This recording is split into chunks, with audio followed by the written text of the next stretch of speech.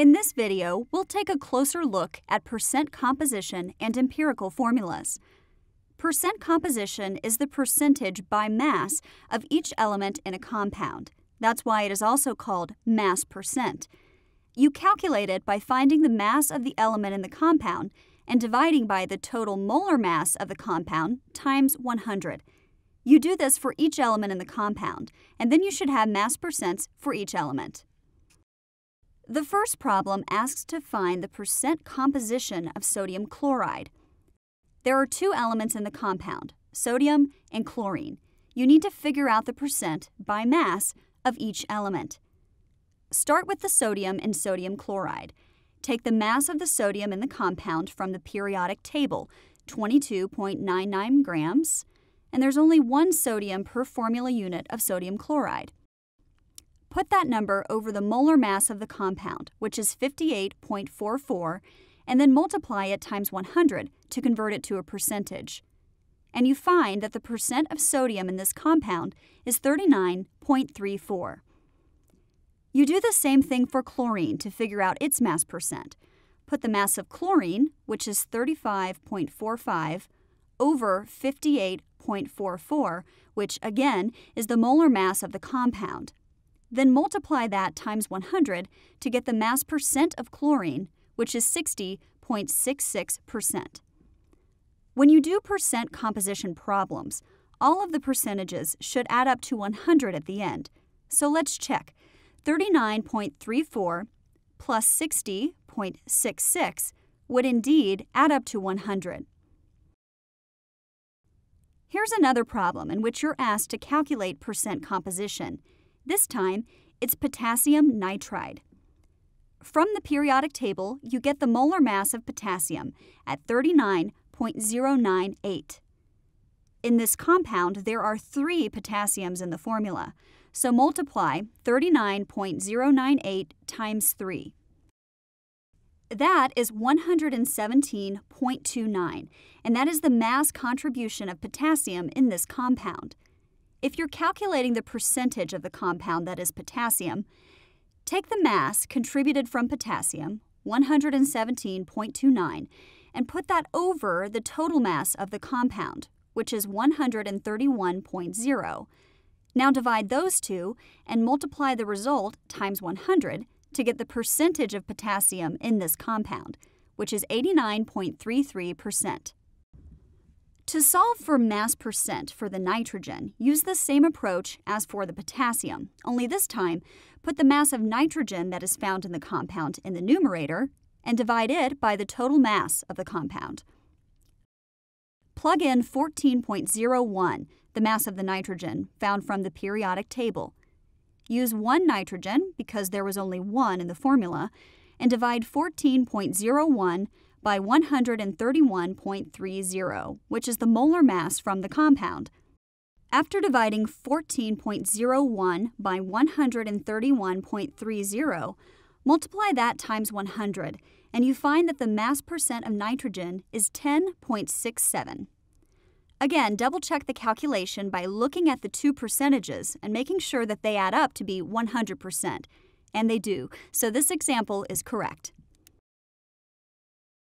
Let's move on from percent composition to empirical formulas. An empirical formula is the smallest whole number ratio of atoms that are in a compound. Let's review how you can solve to determine the empirical formula of a compound. First, find the mass percent of each element. Then figure out how many moles of each element there are if you are given percent composition in a problem, which you commonly are for these types of problems.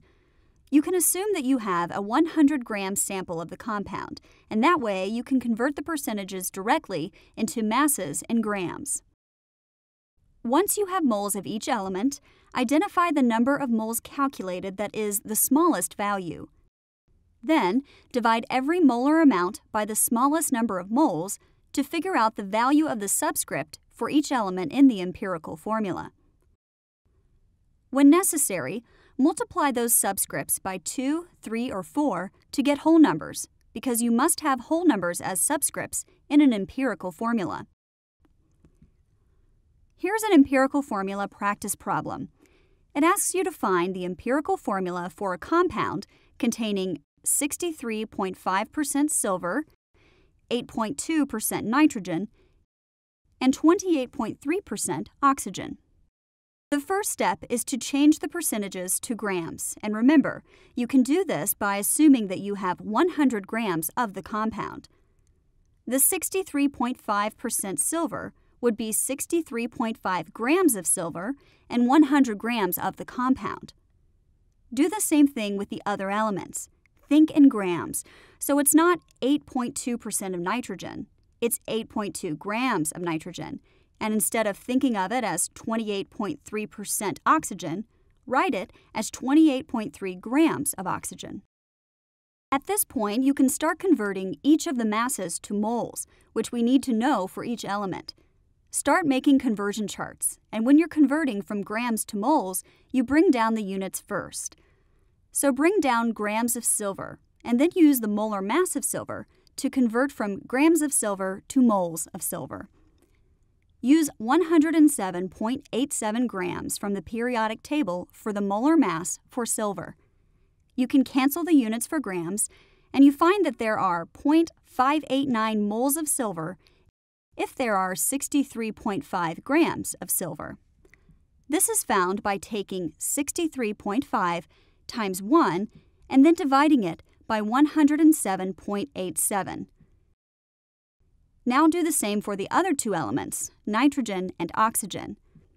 Use the molar mass of 14.01 grams of nitrogen to convert from grams of nitrogen to moles of nitrogen, and then take 8.2 times 1 divided by 14.01, and you find that 8.2 grams of nitrogen is 0.585 moles of nitrogen.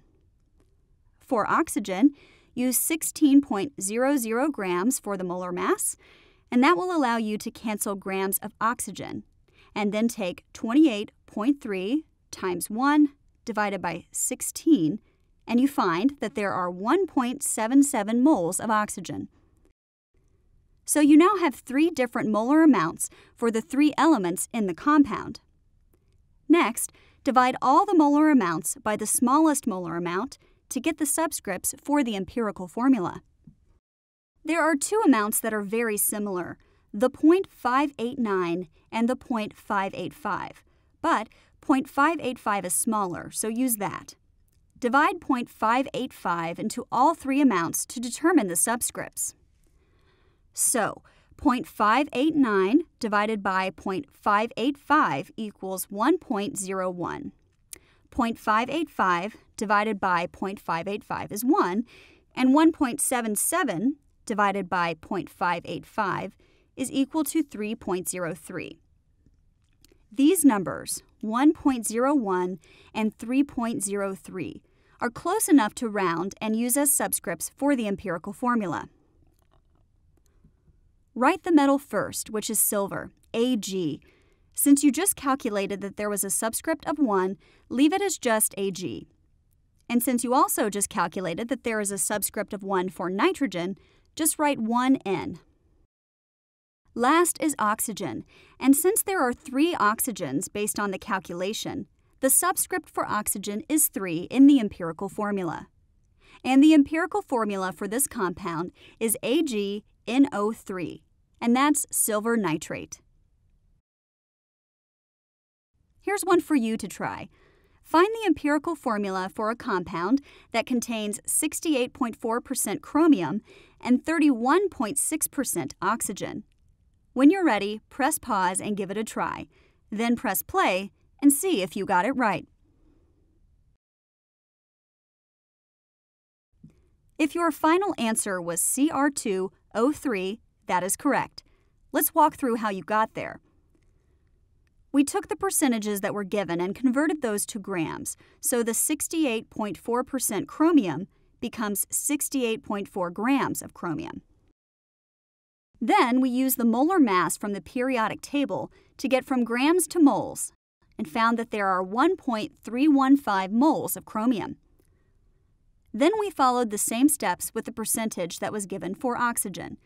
We changed it into grams and then brought the units down and use the molar mass from the periodic table to convert from grams of oxygen to moles of oxygen. And we found that we have 1.975 moles of oxygen. That was the first part, determining the number of moles of each element in the compound. In the second part of the calculation, we took the molar amounts that were given to us and divided each molar amount by the lowest molar amount, which in this case was 1.315. Then we divided 1.315 into 1.315, and of course that's 1 mole of chromium. Next, 1.975 was the molar amount for the oxygen, and we divided 1.315 into it and found 1.50 moles of oxygen. This is one of the situations in which we have to multiply by 2, 3, or 4 because we cannot have an empirical formula of CRO 1.5. We can't have 1.5 as a subscript. So we had to multiply both the molar amounts that we just calculated by 2 because 1.5 times 2 equals 3. For chromium, 1 times 2 equals 2 moles of chromium, and for the oxygen, 1.5 times 2 gives 3 moles of oxygen. And we found that the empirical formula for the compound is Cr2O3. That's a closer look at percent composition and empirical formulas. For more Chemistry Matters, go to our homepage, where the entire series is available to you.